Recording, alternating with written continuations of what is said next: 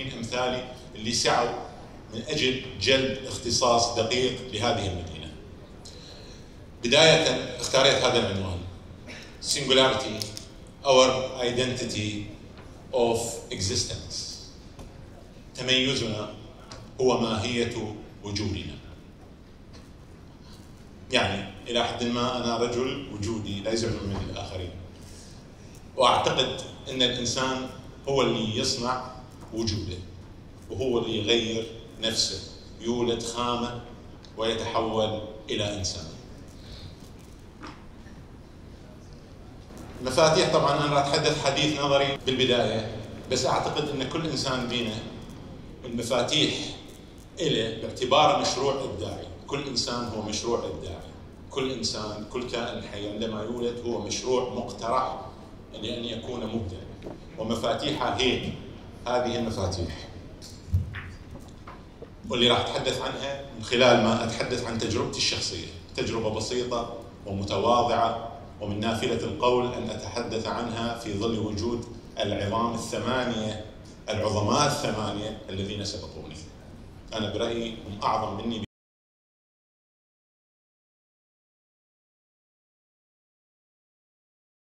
كل إنسان بينا يتمنى أو يطمح أن يكون مميزا حتى يكون واضحا كمشروع إبداعي مستقبلي أمام الآخر.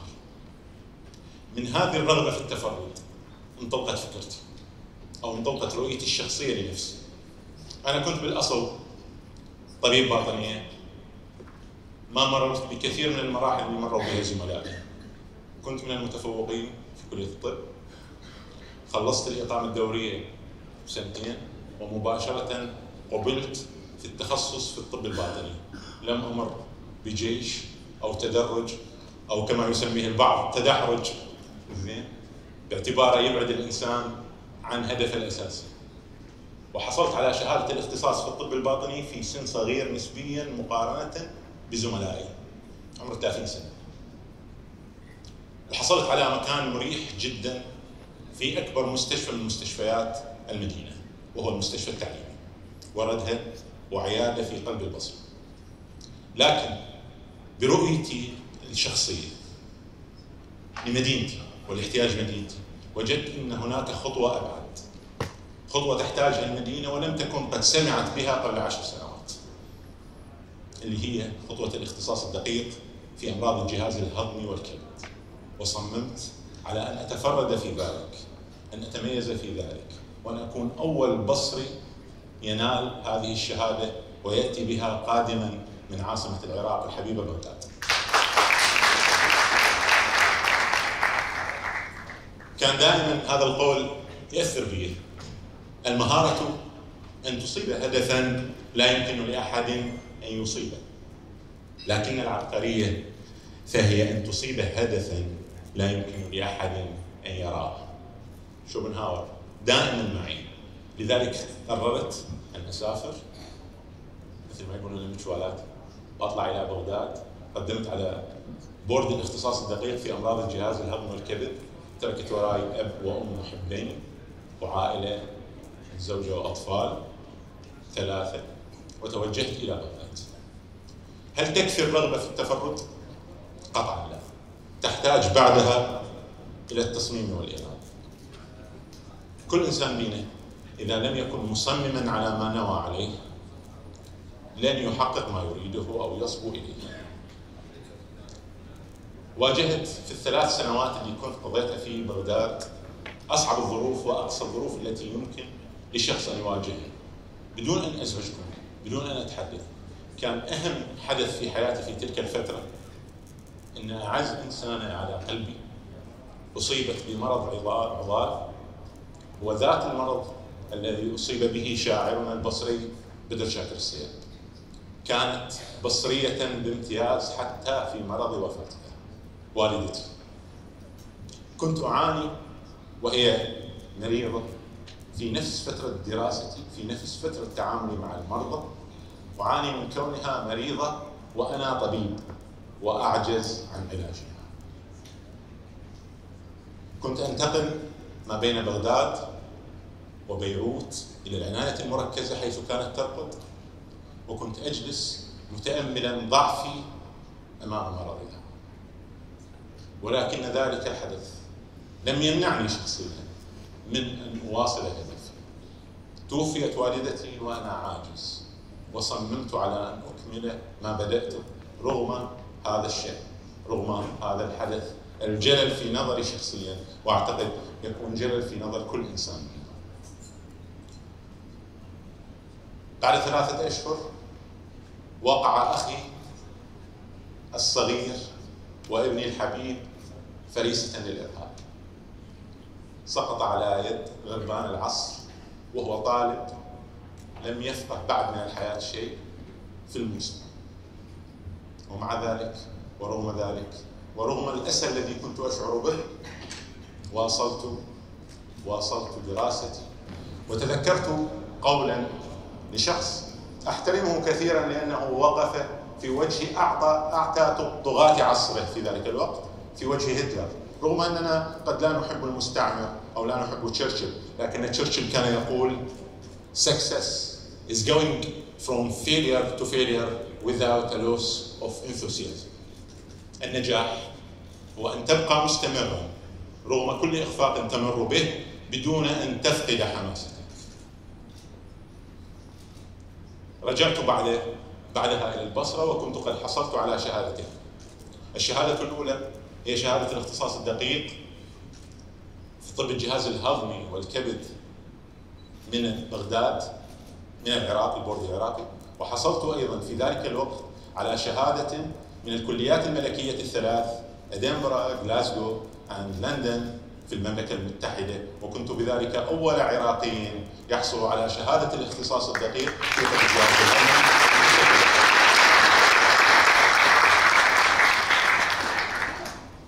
ماذا يحتاج الإنسان بعد أن يحقق الهدف الأول؟ الخطوة الثانية في حياته بعد أن قرر التفرغ ومن ثم حقق ما يصبو إليه. كان يحتاج وهو يرجع إلى مدينته رؤية دقيقة. هذه المدينة بصرة. جميلة نهارا وليلا هذه البصرة التي أحببتها أكثر من أي فرد آخر في أسرتي لأنها أسرتي الكبيرة. كانت تمر بثلاث مشاكل رئيسية. المشكلة الأولى أنها كانت تعاني من مخلفات الحروب وأهم هذه المخلفات التهاب الكبد الفيروسي.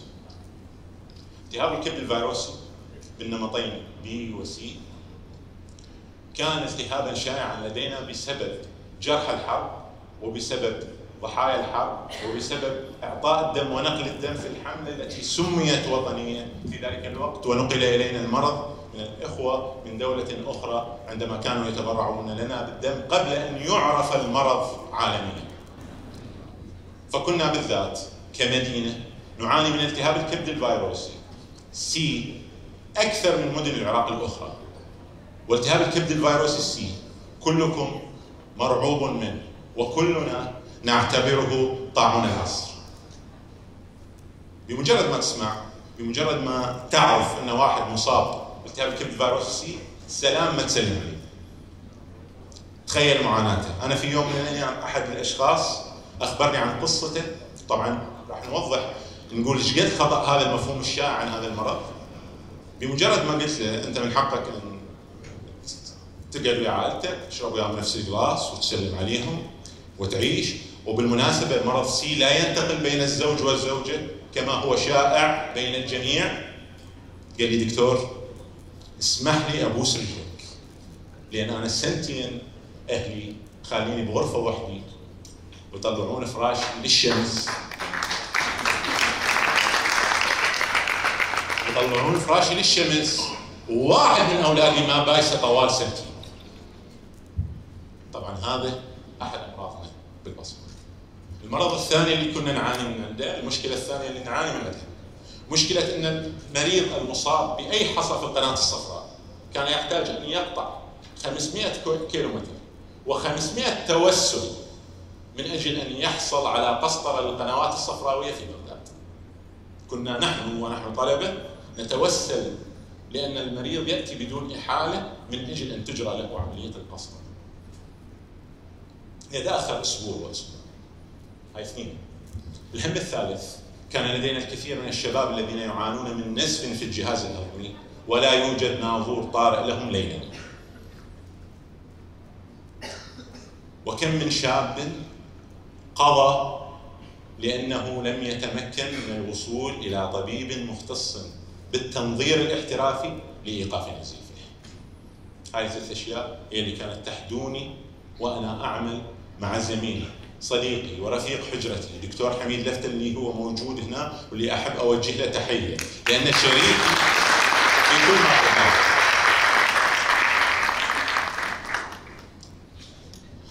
ولذلك أنا أحب هذا القول The only thing worse than being blind is having sight but no vision. هيلين كيلر هيلين كيلر للي ما يعرفها كاتبة ولكنها صماء عمياء.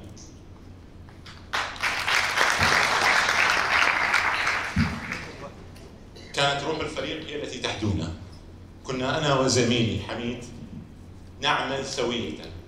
حتى كان اليوم الموعود. كيوم إطلاق مكوك فضائي. يوم أجرينا أول عملية قسطرة للقنوات الصفراوية. لوحدنا. دون كادر تمريضي. ودون مساعدة من أحد. فقط نحن. كنت أنا خلف الناظور وخلف العمل وكان يقوم بدور الممرض تواضعا منه ومساعدة لي زميلي العزيز دكتور حمد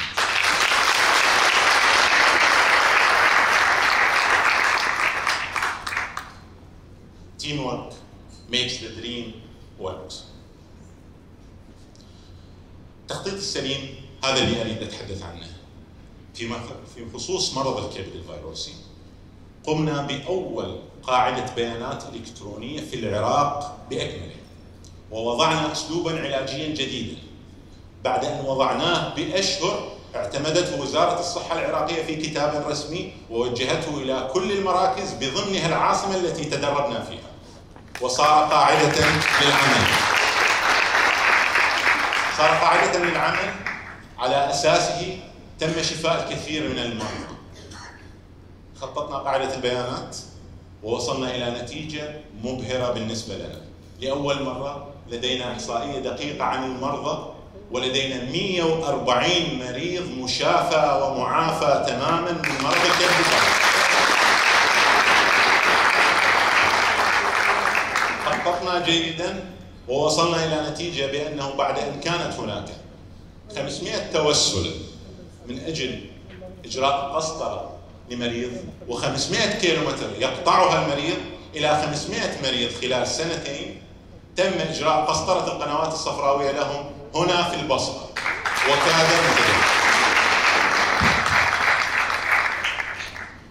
The secret of change is to focus all of your energy not on fighting the old, but on building the new. سقراط.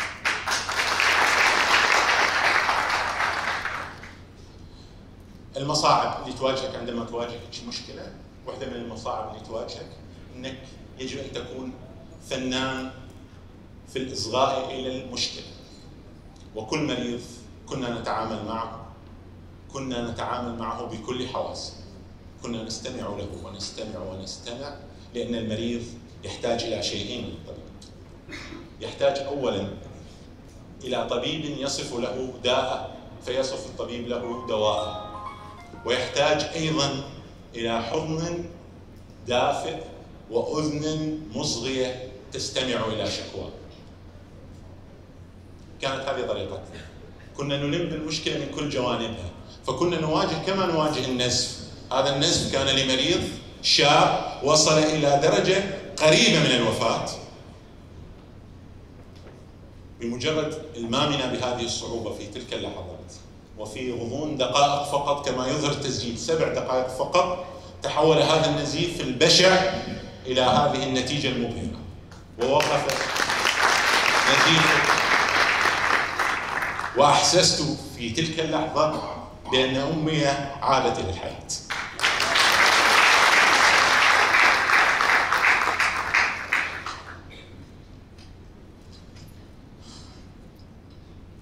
بعد ذلك انتقلنا إلى مرحلة أخرى. لم نكتفي بأن ننجز 500 عملية. وإنما قمنا بإنجاز متميز هي الخطوة الأخيرة. إلى حد هذه اللحظة وإذا كتبت لنا الحياة سيكون بعدها أكثر. قمنا بإجراء تقنية نادرة تقنية من التقنيات المعدودة في قسطرة القنوات الصفراوية. أنا ما أريد أدخل بصلب المهنة وأحكي تفاصيل تزعجكم أو يعني تشتت لكن هذه التقنية تقنية خاصة. بس أقدر أقول عنها شيء واحد إنها أول مرة تجرى في العراق وتجرى لتسع حالات لم تجرى من قبل لا من قبل أساتذتي ولا من قبل زملائي وأجريتها أنا وقدمتها كبحث في المؤتمر الأخير للجهاز الهضمي المؤتمر الثامن في بغداد بحضور شخصيات من مختلف دول العالم. وكانت و... وكانت هذه البيبر أو هذه الورقه من الورقات أو الوريقات المعدودة في العالم في إجراء هذه التقنية وهي قسطره القناة الصفراوية عبر خرق الجهاز عبر خرق الجدار البنكرياس وكانت تقنية نادرة. أتشرف بأنني أنا البصري العراقي أول من أجراها في العراق. ومن المعدودين في العالم. هذه قد يكون مزعج في النهاية. هذا جزء من عملنا. هذه اللحظة الرسالة اللي اريد أوصلها. كل أموال العالم كل الجاه بالعالم كل ما تعتقد أنك تملكه لا يساوي هذه اللحظة التي تستخرج بها القيح من كبد مريض لجأ اليك